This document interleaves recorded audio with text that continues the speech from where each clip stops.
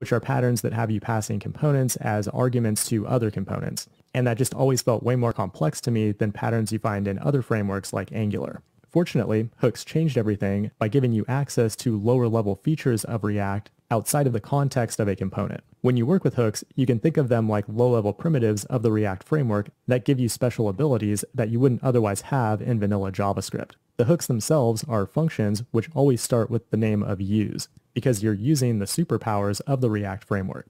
Now, before you start using hooks, there's really just one rule you should be aware of, and that's to only call them at the top level of a functional component. They don't work inside of regular JavaScript functions, nested functions, loops, or anything like that. The only exception to this rule is when building your own custom hooks, which we'll look at towards the end of the video. Now the question becomes, what do these primitives or hooks actually do? Let's break them down one by one, starting with useState. UseState is easily the most important and often used hook. To import it in your React app, type use into the IDE, and that should give you a list of all the hooks that are available to you. Highlight useState, then hit enter to automatically import it from React. The purpose of useState is to handle reactive data. Any data that changes in the application is called state, and when the state changes, you want React to update the UI so the latest changes are reflected to the end user. The hook takes one optional argument, which is the default state, which we'll go ahead and set to zero. The function then returns an array that contains two values you can use within your component. The reason they're returned in an array is because we can destructure them with JavaScript to easily assign the values to the local variables that we can name whatever we want. The first value is the reactive data or state. If we then reference it in the UI and its value changes in the future, React will automatically rebuild the UI to show the latest value. It'll start with a value of 0, our default in the hook, but how do we then change its value in the future? The second element in the array is a setter function. For example, we might listen to the on click event on the button, and when clicked, we'll call the setCount function to increment the count by 1. If we compare this code to a class-based component, you can see it's far more complex. We need a class to extend a React component, then a constructor to initialize the state, and also notice how we're required to reference the this keyword all over the place. UseState, in my opinion, is a much cleaner solution. Now we're ready to tackle the second most important hook, useEffect also happens to be one of the most confusing, and in order to understand it, you first need to understand the component lifecycle. Here in our old class component, we're implementing methods to handle different lifecycle events. Here's a simplified breakdown of the component lifecycle. The component is added to the UI or mounted, which can only happen once, then reactive data on the component can change, or it's updated, which can happen multiple times. Then finally, at some point the component will be removed from the UI or unmounted. Now keep these three lifecycle events or side effects in mind as we talk about the useEffect hook, which allows us to implement logic for all of them from within a single function API. UseEffect is a function that takes a function you define as its first argument. React will then run your function or side effect after it has updated the DOM. With the current implementation, it will run this function anytime stateful data changes on the component. Means it'll run once when the component is initialized with the default value, then run again each time the state or count is updated. In most cases though, you'll likely want more fine-grained control over that behavior. For example, imagine we need to fetch data when the component is first initialized, then update the state asynchronously after the data has been fetched.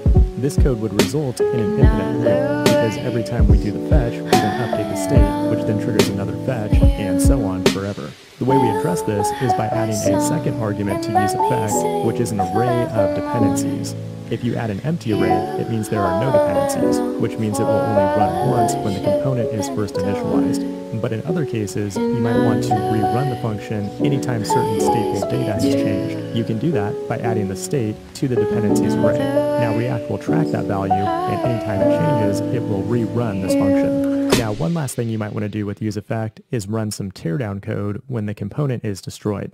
The way we implement a teardown function is to return a function from our useEffect callback. React will take the function returned here, then call it when the component is destroyed. And with that, let's move on to our next hook, useContext.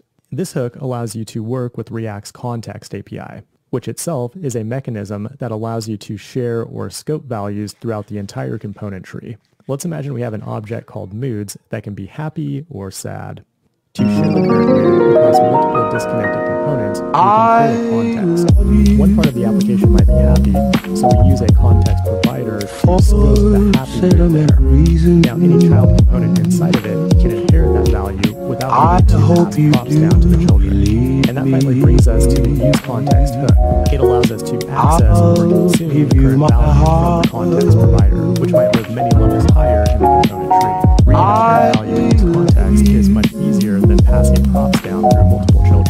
Now, if the move changes from happy to sad in the parent provider, the value here will be updated automatically. Now, if you've ever used React Context in the past, you likely used the consumer component. The use context hook is basically a replacement for the consumer. And now let's switch gears to use ref. This hook allows you to create a immutable object that will keep the same reference between renders. Value that changes, kind of like set state, but the difference being that it doesn't trigger a re-render when the value changes. For example, if we tried to build a counter button with use ref, we could reference the current count by calling count.current. However, when we click the button, the count would never change in the UI because use ref doesn't trigger a re-render like set state does. So that can be use case for use ref is to grab HTML elements from the DOM. We can start by creating a null reference called myRef, then connect it to the raw HTML button using the ref attribute. From there we can reference the HTML button in a function to call native APIs like click in this example, which would programmatically click the button.